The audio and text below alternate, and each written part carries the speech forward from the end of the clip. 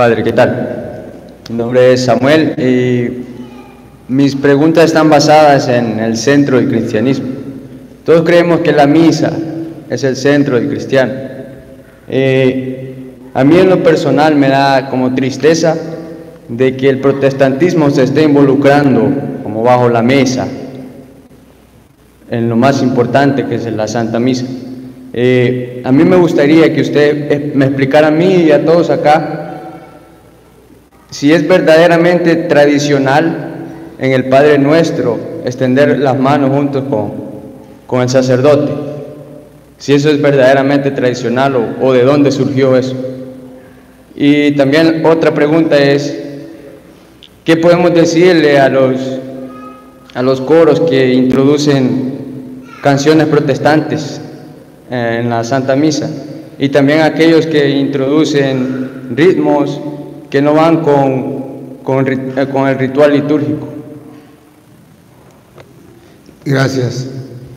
Ciertamente es una contaminación tanto protestante como pagana que los católicos están recibiendo. Los protestantes no tienen sacerdotes. ¿Qué es el sacerdote según Hebreos 5.1? Escúchelo. Eso no lo tienen los protestantes. Lo tenemos los católicos.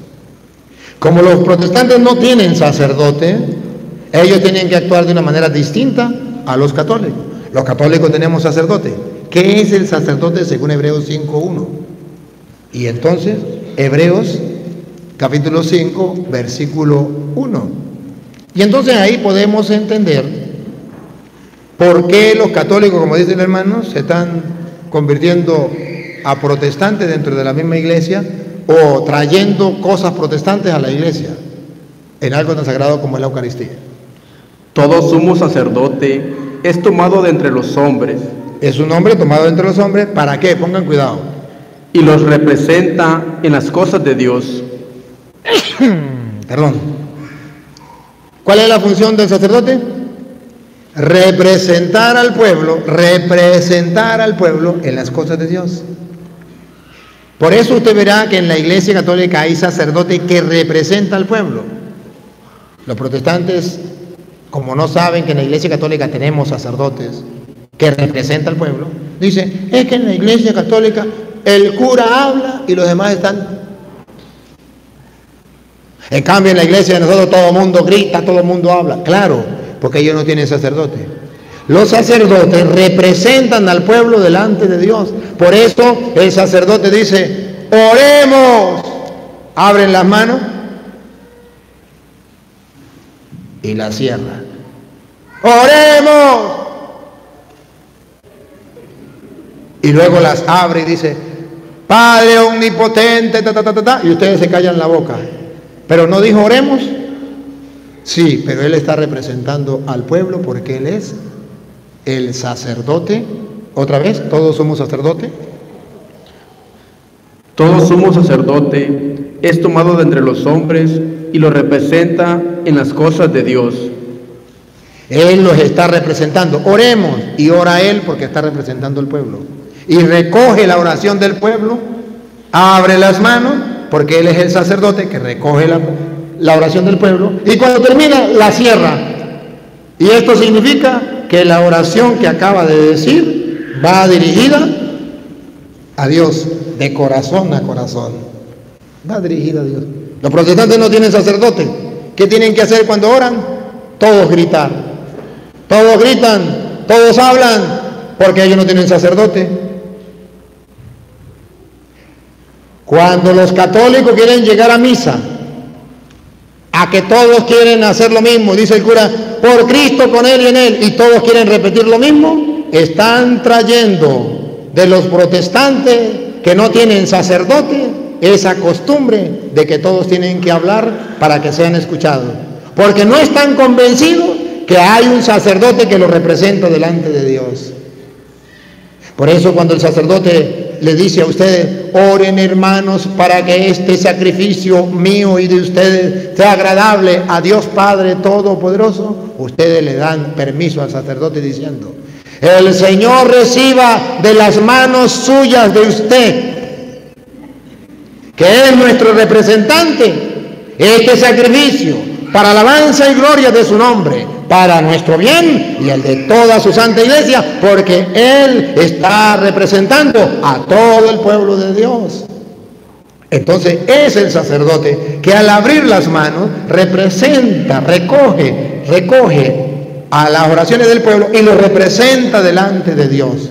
Y cuando reza el Padre nuestro, es el sacerdote que con las manos abiertas recoge la oración de ustedes y la presenta ante Dios. Y ustedes no son protestantes, que no tienen sacerdote que los represente.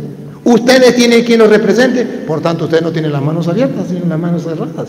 Hay quien los represente. El Señor reciba de tus manos. Las manos del sacerdote representa en ella la oración del pueblo. Ahora, como los católicos se están dejando contaminar por la doctrina protestante, todos, dice el Padre, eh, fieles a la recomendación del Señor, siguiendo su divina enseñanza, nos atrevemos a decir, y una vez todos abren la mano, Padre nuestro. ¿Por qué no deja que lo represente aquel que es sacerdote y ha sido instituido para representar al pueblo delante de Dios? Entonces, debe el pueblo saber que en la Iglesia Católica ustedes callan porque hay un representante. ¿Y ustedes qué hacen cuando el cura dice, por ejemplo, por Cristo con Él y en Él, a ti Dios Padre Omnipotente, en la unidad del Espíritu Santo? Todo honor, toda gloria, por los siglos de los siglos. ¿Qué hacen ustedes?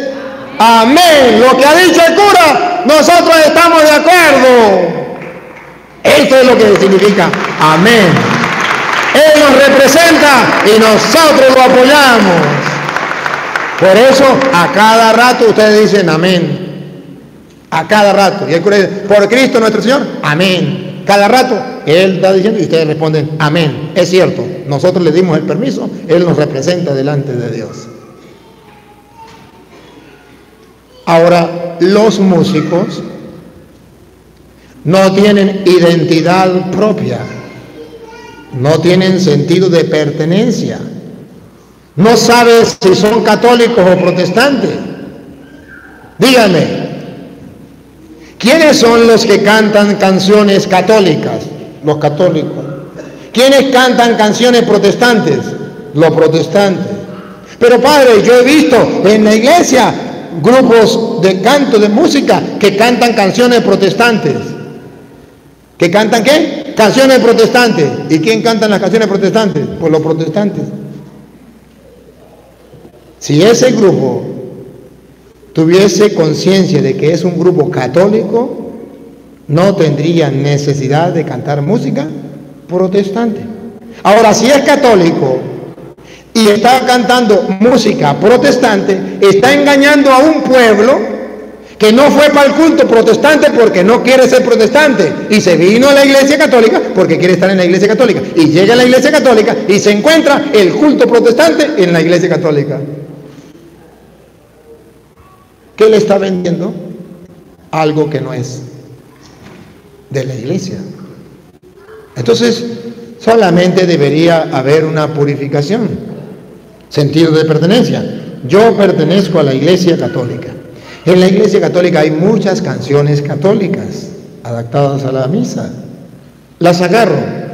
No tengo necesidad de envidiar. No tengo la necesidad de importar canciones de los protestantes para la Iglesia Católica. No tengo necesidad. Hay.